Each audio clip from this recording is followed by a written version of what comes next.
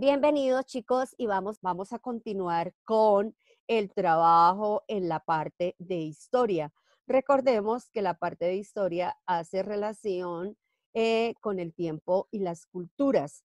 Eh, estábamos en el taller que ustedes eh, trabajaron con el video sobre acontecimientos del siglo XIX y el siglo XX. Vamos a continuar trabajando esa temática.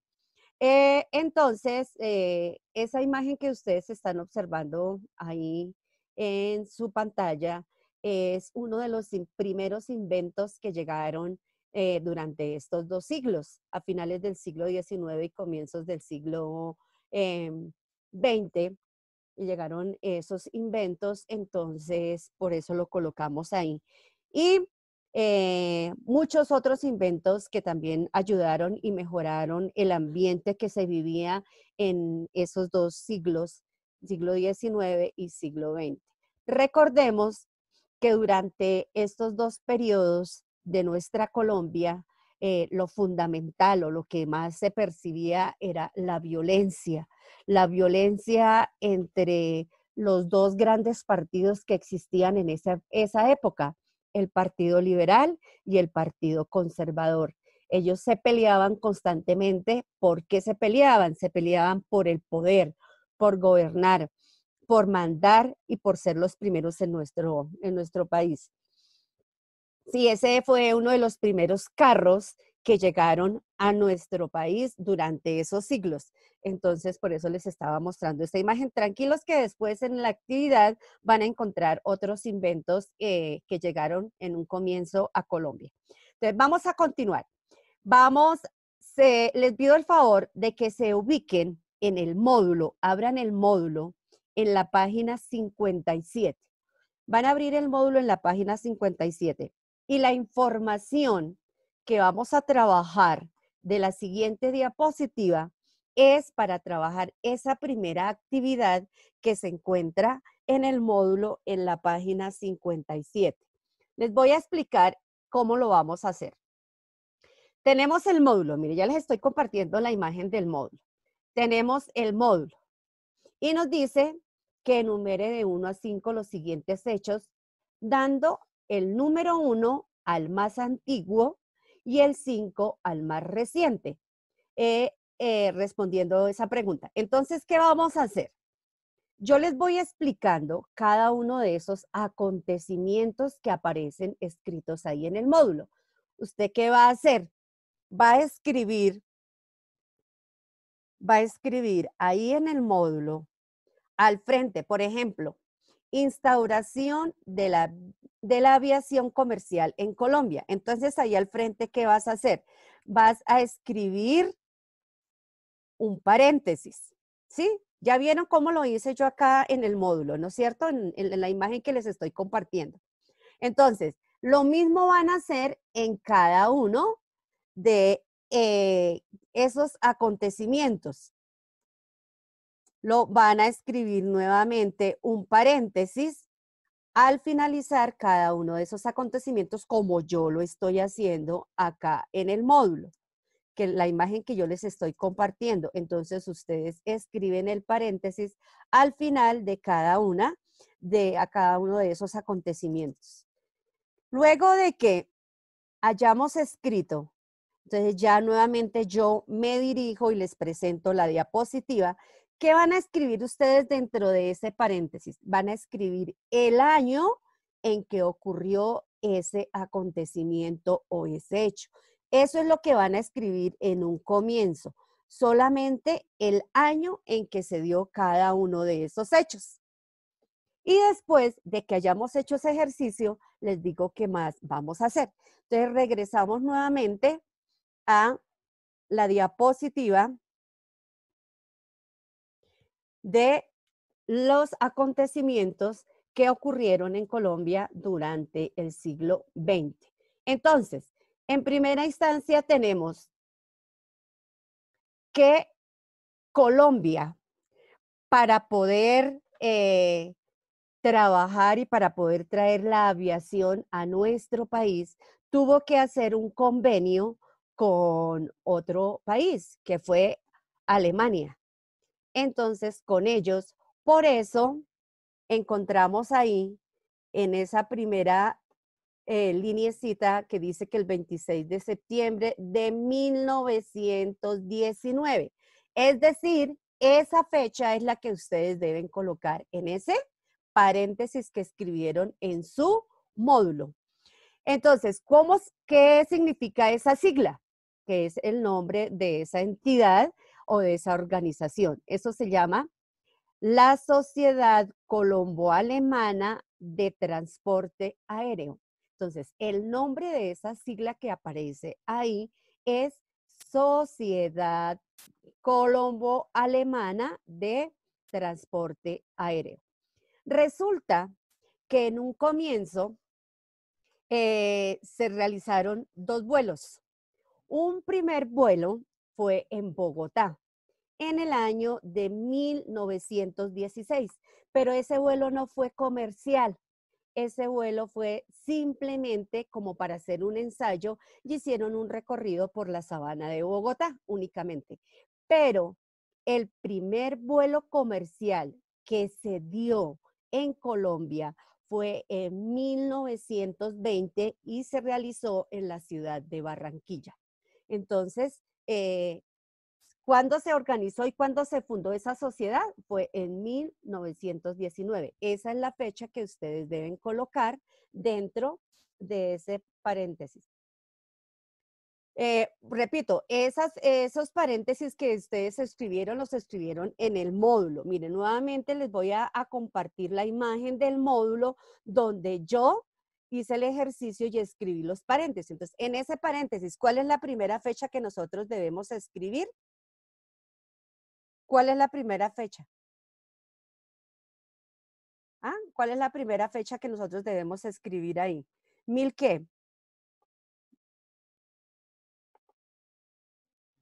1919. Muy bien. Entonces escribimos 1919. Entonces, esa es la primera fecha que ustedes debieron escribir. Ese es el ejercicio que estamos haciendo todos.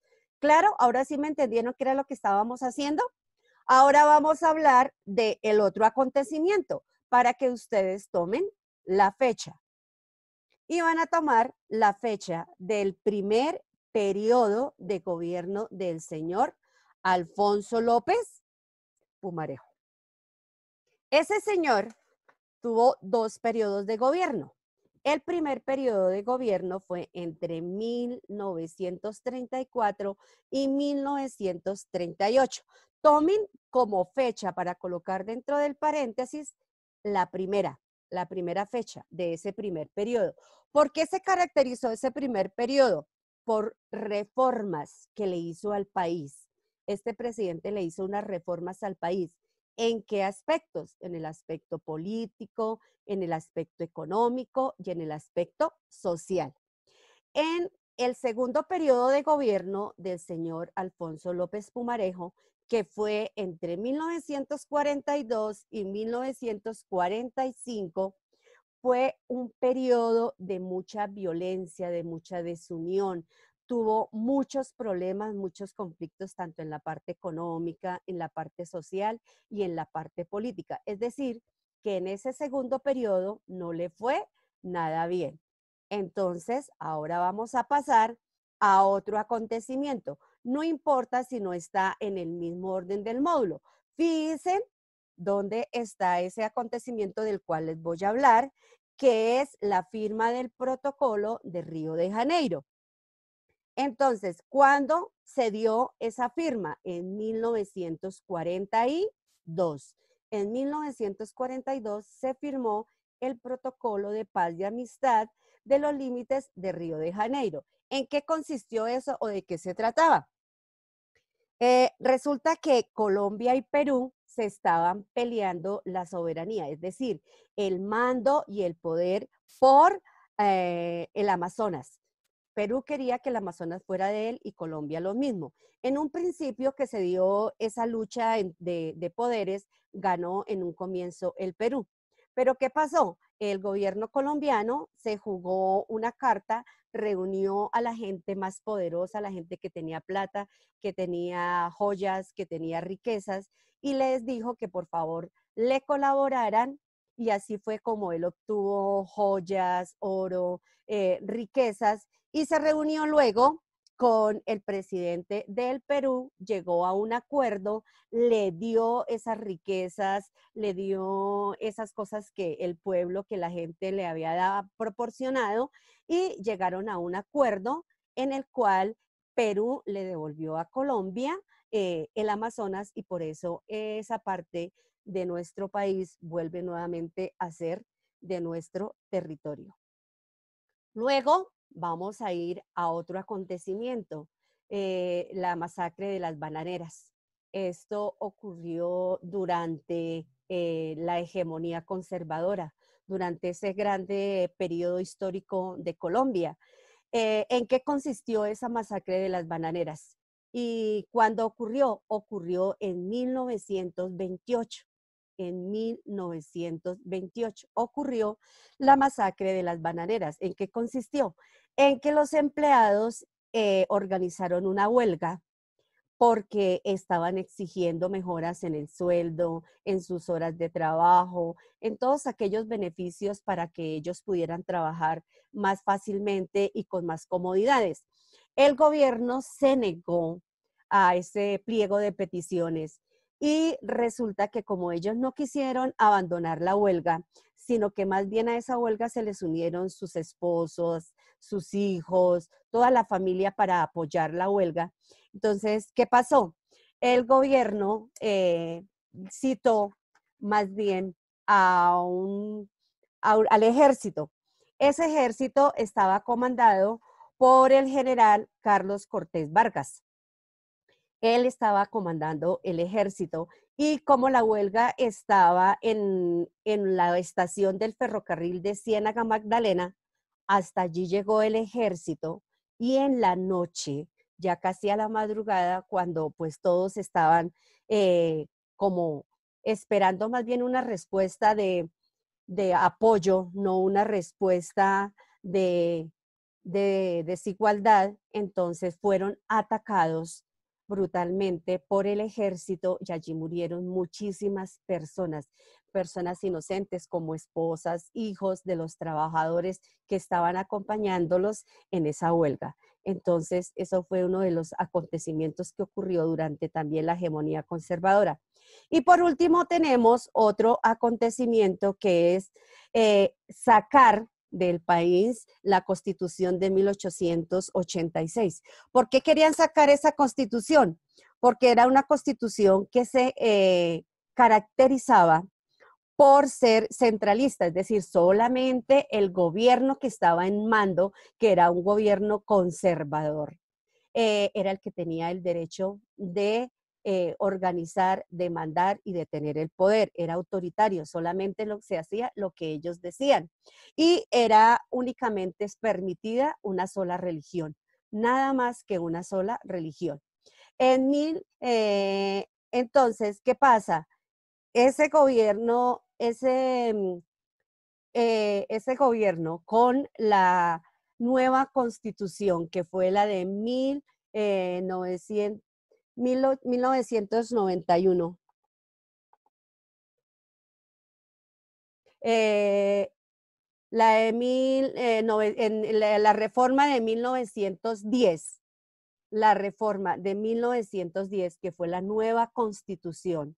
Entonces, ¿qué pasó con esa constitución? Era una constitución más flexible, era una constitución en la que se preocupaba más porque hubiera democracia, porque hubiera participación, porque eh, se respetaban las creencias de las personas, era más espiritual, era más democrática, era más moderna, era más incluyente, es decir, todos tenían derecho a participar, por eso se dio la democracia.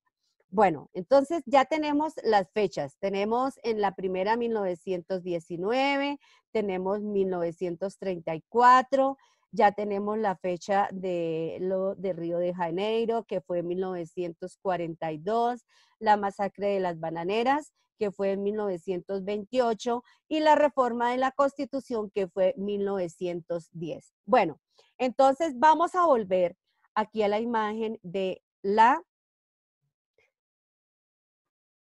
de la del módulo. Entonces, como ustedes ya colocaron las fechas, yo no se las he colocado todas, pero ustedes ya las colocaron todas. Entonces, ¿qué van a hacer ahora?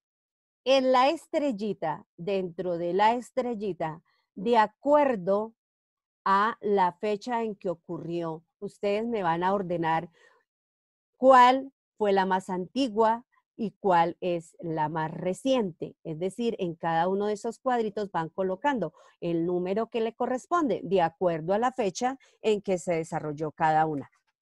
Entonces, los invito a que lo hagan.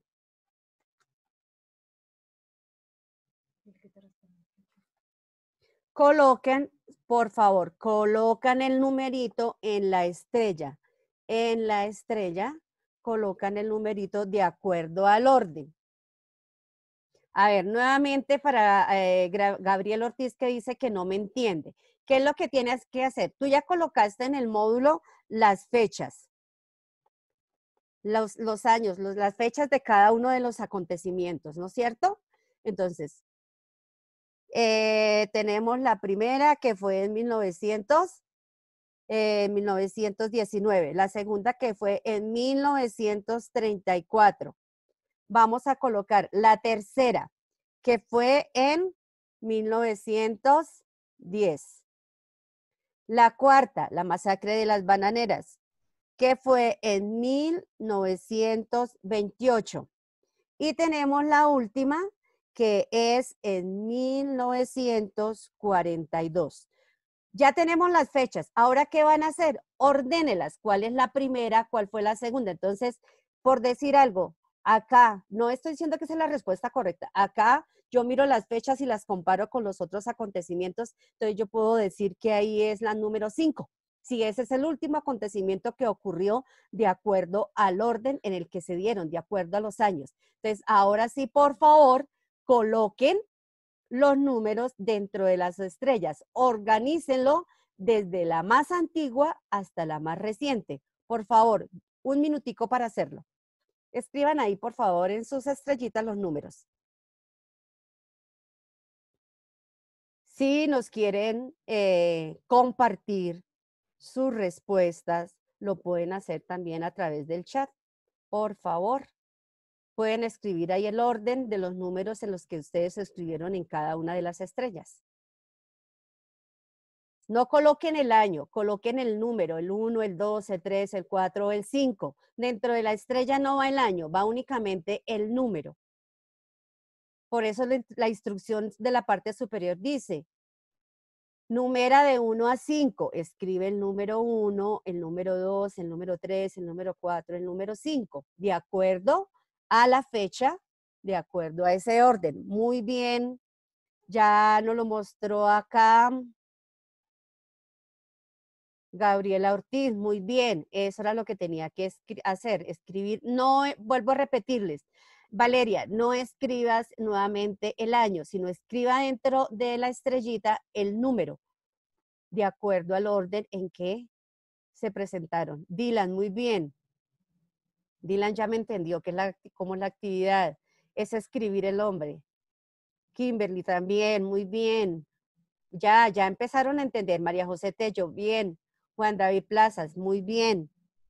Eso es lo que teníamos que hacer, escribir dentro de las estrellas el número.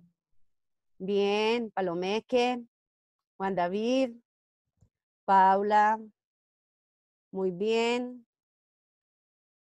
Valeria, Mónica, ya están, ahora sí ya me han entendido en qué consistía el ejercicio, muy bien.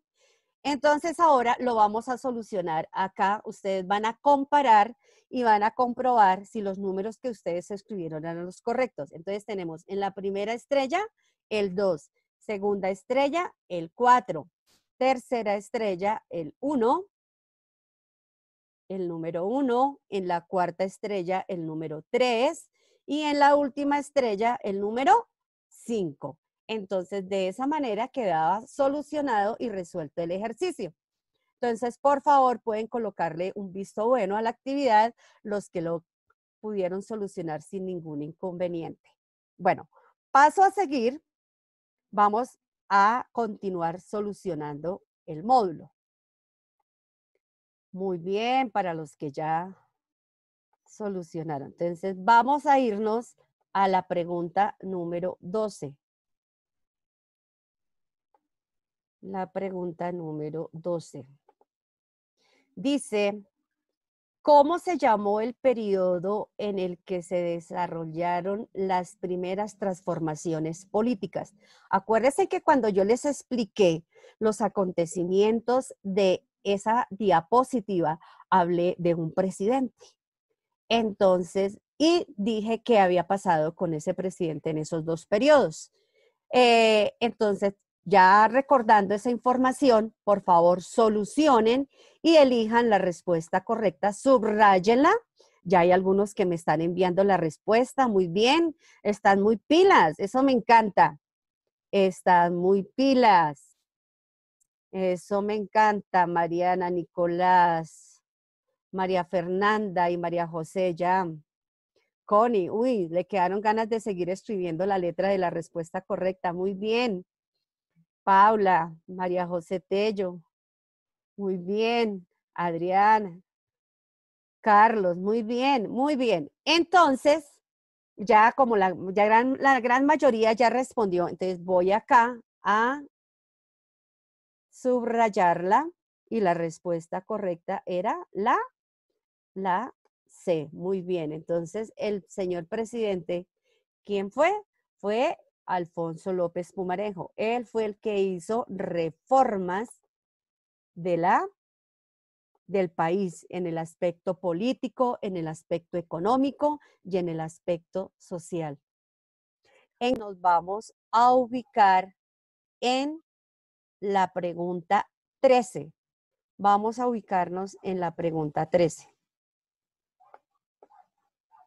Bajamos. Ustedes allá continúan, buscan la pregunta 13. ¿De qué nos está hablando la pregunta 13? Nos está hablando de la masacre de las bananeras. Entonces, van a, van, nos trae un texto, una parte del texto. Entonces, yo los invito a que ustedes lean ese texto que nos presenta la pregunta número 13 del módulo. Entonces, van a leer muy bien, analizando, entendiendo el mensaje que nos trae ahí y recordando la explicación que yo les di cuando hablamos sobre la masacre de las bananeras. Entonces, van haciendo la lectura y luego nos dice la pregunta. Se puede inferir, cuando yo digo inferir, usted puede determinar, puede establecer, puede sacar conclusión de que la masacre de las bananeras fue una violación directa a los derechos humanos. ¿Por qué? ¿Por qué se le violaron los derechos humanos a los trabajadores de, de las bananeras? Entonces, elijan la respuesta, subrayenla y en el chat, por favor, me van compartiendo sus respuestas. Entonces, los que ya hayan terminado de hacer la lectura, los que ya hayan recordado, pueden empezar a escribirme y compartirme sus respuestas. Y hay algunos muy activos. Adrián, muy bien. Palomeque, muy bien. Paula. Uy, estamos muy pilas, eso los felicito. Sara, está muy bien. Nicolás, muy bien. María José, le quedaron ganas de escribir la respuesta, pero muy bien. Muy bien. Felicitaciones, están muy pilos, están muy atentos a las explicaciones porque lo están solucionando muy bien. Entonces, seguimos. Uy, muy bien. Valeria está volando. Kimberly, muy bien. Connie, ¿qué pasó? ¿Estás escribiendo? No escribiste la respuesta, solo nos escribiste unas X. Daniel Ramírez, muy bien. Muy bien. Entonces, ya vamos a comparar y vamos a determinar que la respuesta correcta era la, la B. Muy bien para aquellos estudiantes que colocaron y escribieron que la respuesta correcta era la B. Estaban, eh, murieron personas que desafortunadamente les estaban negando un derecho, derecho a hacer una huelga, derecho a protestar, derecho a buscar un medio para que fueran escuchados y desafortunadamente no los escucharon. Bueno, entonces los felicito y vamos a continuar. Entonces vamos a la siguiente actividad. Entonces, dice, lee el siguiente texto, luego responde las preguntas 14, 15 y 16.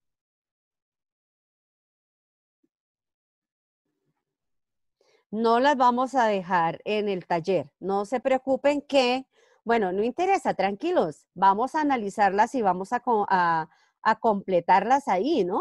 No interesa si ya tú las tienes resueltas, mejor todavía.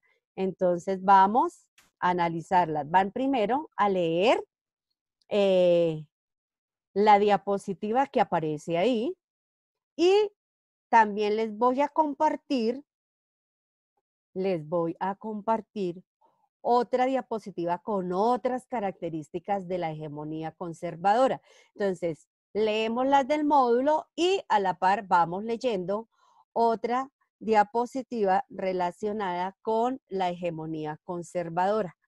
Ahí vamos a observar otras características, otros acontecimientos, otros hechos que se presentaron durante esta época. Entonces también les va a servir para que si ya escribiste, pues complemente.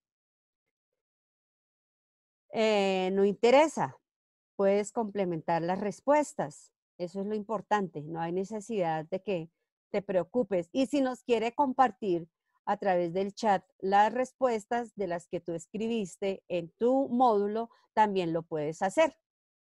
Entonces, están leyendo, están analizando y están complementando las respuestas que tienen en el módulo. ¿Por qué? Porque esas preguntas es prácticamente de opinión. Es lo que tú entiendes, lo que tú percibes de esos acontecimientos que se presentaron durante esa hegemonía conservadora Recuerden que fue uno de los periodos más largos y uno de los periodos más violentos, con mayores pérdidas para nuestro país. Pero que gracias a Dios después se llegó a un acuerdo y ese acuerdo con eh, el otro partido político existente en nuestro territorio, que era el liberal, cesó la violencia porque llegaron a un acuerdo.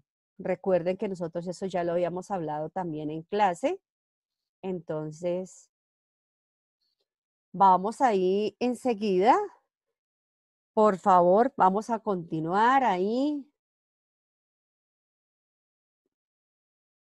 Ah, recuerden que empezamos en la página 57 y vamos, vamos ya en la página 59. Entonces, por favor, esas actividades ya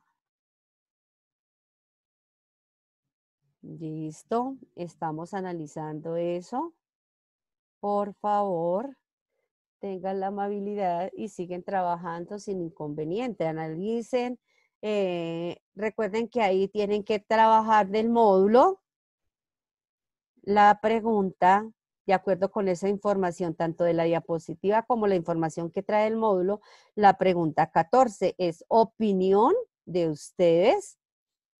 Nos habla de ¿Por qué? ¿Qué pasaría si Panamá todavía perteneciera a Colombia? ¿Qué creen ustedes que pasaría con nuestro país? Entonces, los que nos quieran compartir su opinión o su respuesta lo pueden hacer. Entonces, pueden escribirlo en el módulo y pueden también Daniel Ramírez, ¿qué es lo que tienes que hacer? En tu módulo, en la página 59, hay unas preguntas que son de opinión. Papá, tú lees el enunciado. Por ejemplo, la pregunta 14 dice, las consecuencias, la, la consecuencia más importante de la guerra de los mil días fue la separación de Panamá. Es decir, Colombia perdió a Panamá porque recuerden que cuando yo les expliqué Panamá era un departamento de Colombia. ¿Cómo crees que sería Colombia en la actualidad? Es decir, en este momento, ¿cómo sería Colombia si no hubiera perdido a Panamá? Esa es la explicación que les están pidiendo. Cada uno lo que tú piensas, imposible que existieran más guerras. Bueno, pero recuerden que, bueno, ¿qué más pasaría? Seríamos más grandes. Bueno, también sería una Colombia más grande.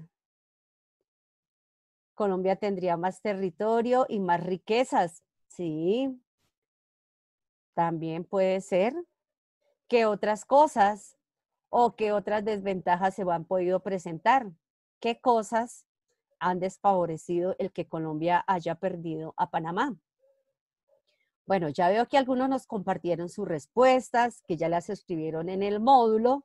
Entonces, también otra de las conclusiones podría, que puede ser es eh, en cuanto a la economía, porque Colombia para poder pasar a Centroamérica o a Norteamérica, haciéndolo a través de Panamá, tiene que pagar unos derechos, tiene que pagar unos permisos para poder pasar y para poder exportar sus productos. Entonces, esa también es una de las desventajas. Mucho terrorismo, entonces, cada uno tiene una opinión. Bueno, entonces, la pregunta 15 dice, la guerra de los mil días fue la última guerra civil. Es decir, ¿por qué civil? Porque se enfrentaron la gente del Partido Liberal y del Partido Conservador. No solamente eran militares, era gente del común. Recuerden que también se unieron hombres, niños, mujeres en esa guerra civil que se dio. Eh, entre los liberales y los conservadores entre 1899 y 1902, ¿crees que este hecho dio origen a las guerrillas conocidas en la actualidad? ¿Ustedes creen que la guerra de los mil días les dio como la pauta a las personas en la actualidad para organizar grupos guerrilleros? Entonces, escribes ahí tu opinión. Y también los que no las quieran compartir, pues lo pueden hacer. Compártanos sus opiniones, compártanos sus respuestas. Entonces, están escribiendo ahí en el módulo. Muy bien, tranquilos, analicen muy bien, piensan muy bien sus ideas para que por favor no las eh, compartan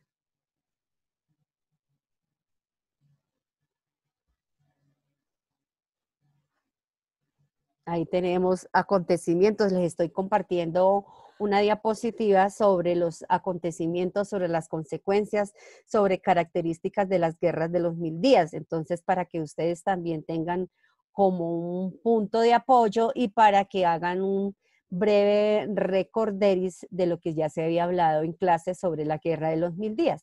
Pero ustedes ahí con esa diapositiva pueden mirar y pueden eh, aclarar más sus ideas y escribir sus respuestas.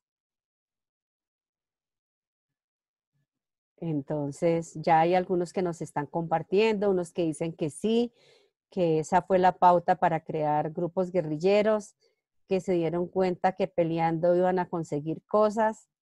Entonces, pues es la opinión de cada uno de ustedes, ¿no? Pero sí de pronto ellos pensaron que eh, esa era una de las formas de conseguir cosas para el país o cosas para el grupo que estaba organizado. Entonces, por favor, siguen contestando, nos siguen compartiendo. Unos dicen que creen que no, otros dicen que creen que sí, pero más que decir sí o no, justifíquenos por qué, por qué sí o por qué no. No solamente quedémonos en ese sí, seco o ese no seco, sino también compártanos el por qué sí o por qué no. Se le fue el internet, no te preocupes, está, estamos nuevamente en Daniel Ramírez, no te preocupes, se te fue el internet, pero eh, ¿qué es lo que están haciendo? Están leyendo en el módulo la pregunta y lo están solucionando, la pregunta 14 y la pregunta 15, que es más de opinión. lo que tú opinas con respecto a ese acontecimiento que le está presentando cada una de esas preguntas. Entonces, para que tú lo escribas ahí en tu módulo y si no lo quiere compartir, lo puedes hacer. Daniel, ahora sí ya me entendiste, ya te volví a, ya te volví a explicar que estamos con la pregunta 14 y estás escribiendo tu opinión con respecto a esa situación que nos está presentando el módulo, lo mismo en la 15. Y en la pregunta 15, ya, bueno, entonces, ya hay algunos que se me cae el internet, no se preocupen, de todas maneras, el video queda grabado de la explicación de la clase y después ustedes pueden ingresar cuando la directora de grupo les envíe el enlace del el video. No se preocupen, que ahí lo van a poder encontrar y van a poder eh, aclarar las dudas y terminar la actividad a los que se les cae el internet, a los que desafortunadamente la plataforma lo saca. En la pregunta 16 dice, escribe un breve texto en el que explique qué acontecimientos marcaron el fin de la hegemonía conservadora en Colombia. Entonces, ustedes van a escribir ahí un texto, un texto corto. Van a expresarme con sus propias palabras lo que ustedes piensan y cuál fue esa consecuencia con la cual se terminó ese poder de la hegemonía conservadora. si quiere, les vuelvo a compartir la diapositiva donde aparece lo relacionado con las características de la hegemonía conservadora. Entonces, no hay ningún inconveniente, pueden trabajarlo. Eh, listo, y hay algunos que están escribiendo, que están compartiendo, los felicito. Bueno, a continuación, en el taller, ese taller también a través del el grupo, su directora de grupo se los va a eh, reenviar. Dice una actividad, esa actividad es para solucionarla ¿dónde? Para solucionarla en el cuaderno de historia. Aparece un enlace, ese enlace es de un video. Ustedes van a observar el video, van a copiar estos punticos o estos acontecimientos en el cuaderno de historia y luego de observar el video les van colocando la fecha.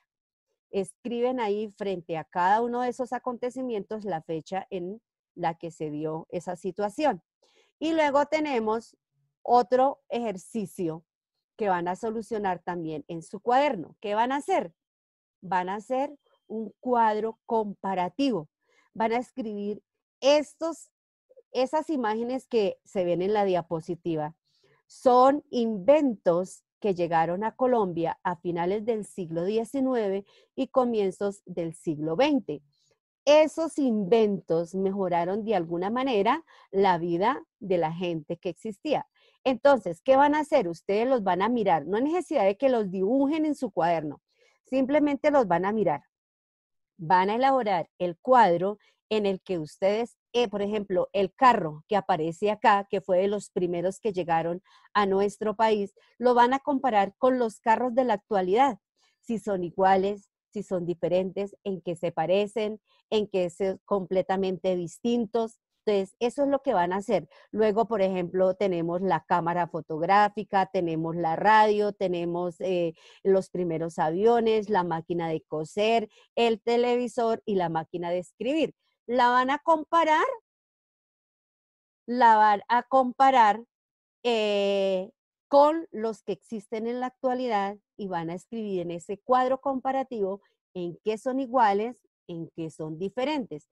No se preocupen que ahorita cuando la profesora termine la clase, la profesora Estefanía, ella ya tiene el taller, entonces ella se lo va a compartir a ustedes para que ustedes lo descarguen, para que ustedes lo miren y puedan realizar la actividad que es el complemento de la clase.